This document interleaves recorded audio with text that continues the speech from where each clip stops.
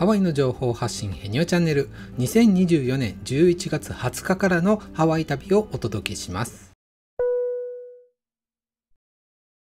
さあインターナショナルマーケット到着しました。あれ全然並んでない。やった。あちゃうそうでもない。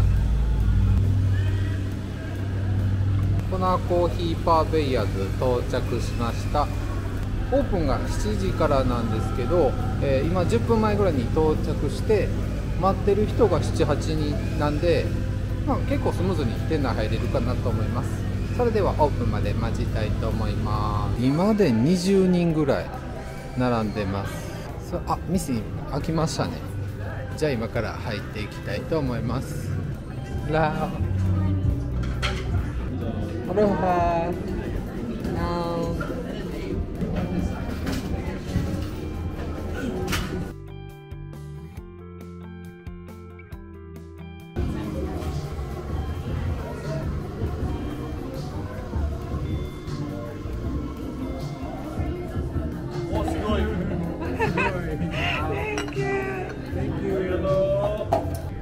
はい注文してきました、えー、クイニーアマンのオリジナルとチョコレートバナナアーモンドクロワッサンと粉コーヒーのホットラテラージとスモールの粉コーヒーを注文しました。いただきたいと思います。あ朝一美味しい。ホットラテラージいただきます。潰しちゃうけど。むっちゃきすごい。濃いけどマイル初めて飲む味。ではオリジナルのクイニーヤムいただきます。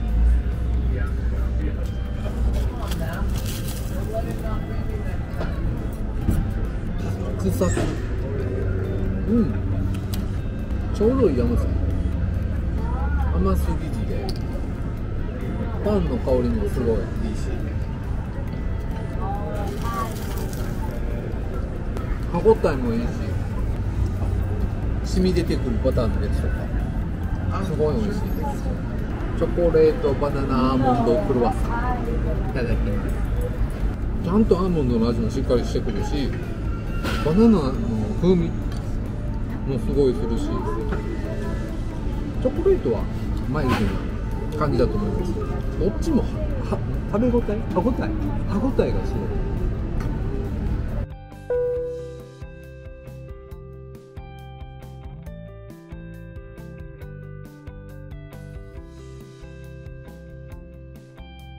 今乾燥機を回してる時間余裕があるのでちょっと行きたかったシェラトンワイキキのお店とかビーチの方でちょっとカメラ回したりしたいんで今からそちらの方に向かいたいと思います。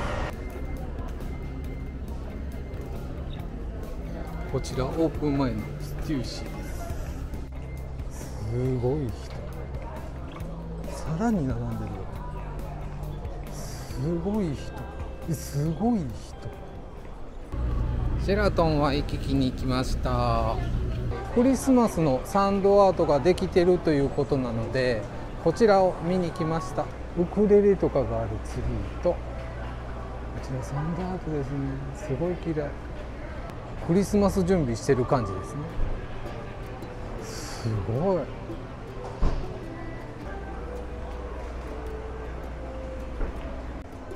こちらもサンタさんメデカリキマカー。すごい。これ後ろはどうなってんだ？こんな感じでございます。すごい綺麗に作られてる。はい今私はワイキキビーチに来ています、えー、ロイヤルハワイアンホテルとシェラトンワイキキの間の防波堤のところを伝って来てます。ダイヤモンドヘッドとホテルバック。でハイアットとかが見えてビーチが見えてシェラトンワイキキでございます。っていう感じなんですけどなんでここに来てるかって言いますとなんかねここたまに炎が見えるという。噂を聞いてましてひょっとしたら見れるかなと思って今回定期的にちょこちょこっと来ようかなと。でこんな感じで海の方まで行けるところが何箇所かあるんで今回ちょっと見つける見つけた時にはちょっと来てみようかなと思っております。今日はちょっと雲が多めなんですけどザ・ハワイ。っていう感じの景色がねこれ見えますよね。炎はやっぱり今日はいなさそうかな。ちょっと、ま、海が反射しすぎて見えづらいんで。また定期的に行きたいと思います、えっと、先ほどの場所なんですけどこちらの防波堤のところになります。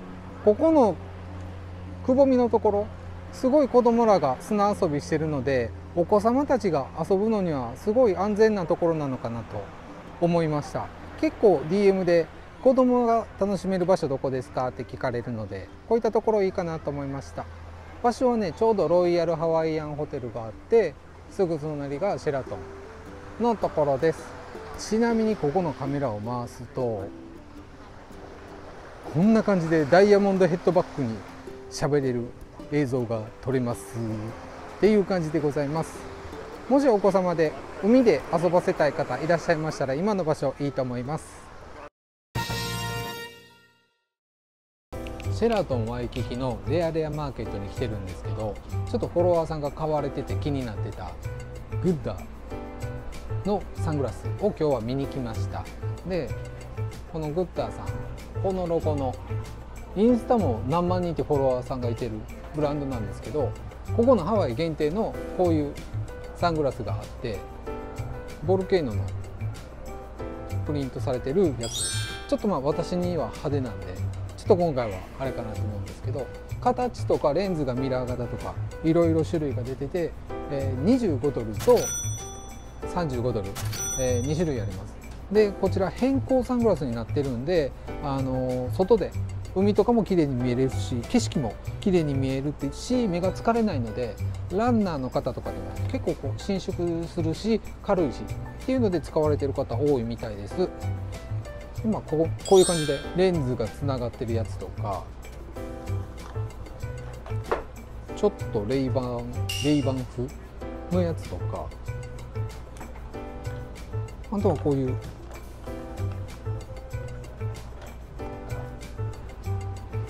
尖り系のやつとか。のサングラスがあります。結構形可愛いんでいろいろ見られてもいいと思います。あと他にもこっちにちょっとワイドなやつ。の35ドルのサングラスとかキッズもあるそうです。なので家族でファミリーでお揃いもできるしこういう風な違う形。ちょっと丸っぽいやつとか。丸っぽいやつとかもあります。であとこっちの裏。にもこういう感じの。こちらは25ドルのやつで。あすごい見える。ちょっとレンズによって見える感じ変わるのでいろいろチェックされてもいいと思います。一応あのクーポンも出てるのであのホテル内にある冊子のクーポンも使えるみたいなのでこちら見てみてもいいと思います。今日はこのサングラス欲しかったんで、えー、他のメガネ屋さんのサングラス買うよりすごいお得なのと、まあ、軽いのとあのハワイ来てサングラス持ってなかったらこういうの1個持って、えー、滞在中つけるっていうのも面白いなと思います。私は今回これで1つ買って、えー、試そうと思います。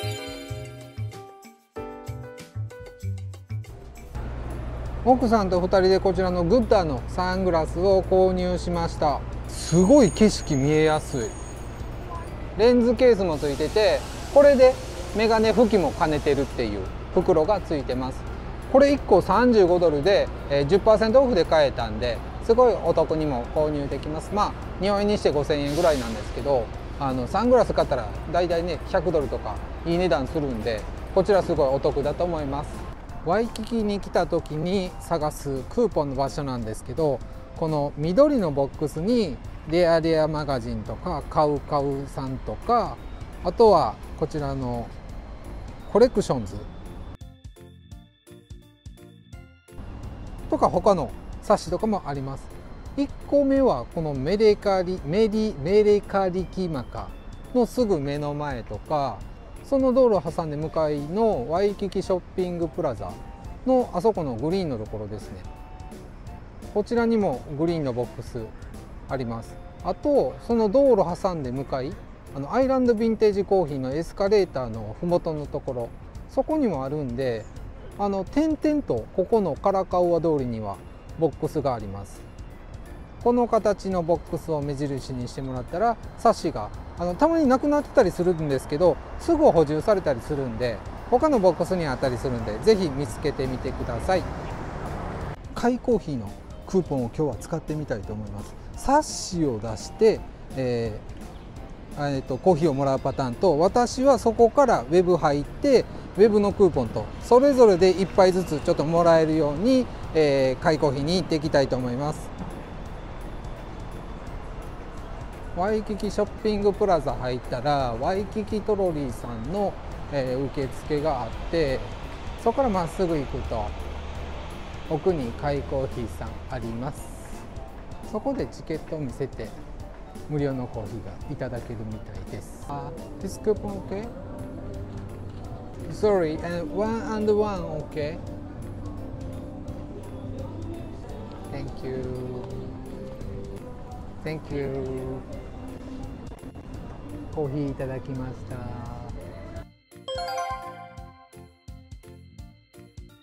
えー、今カカオ湖にいてます、えー、パタゴニアに今回は行ってきたんですけどもちらとしか寄ってないんですけどパタロハのシャツはやはりありませんでした。あと、えー、パタゴニアホノルルのシャツもあったんですけどもうサイズが限定になってたりとかいうのでお客さんもまばらでした。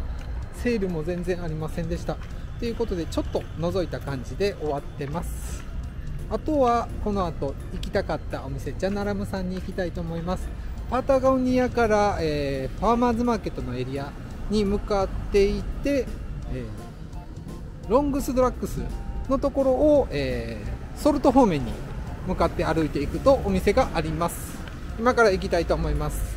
カカアコワードの間にあるロングスドラッグスです。こちらもそのまま通りを南側海側に進んでいきます。この目の前にある信号を、えー、右に曲がります。この信号を右に曲がります。ですぐ次の、えー、交差点を左に曲がるとジャナラムさんのお店に到着できます。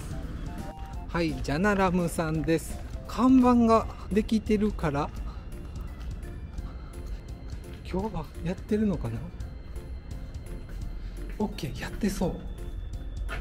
ピンクフライデーということでじゃあナラムさんやってまいります。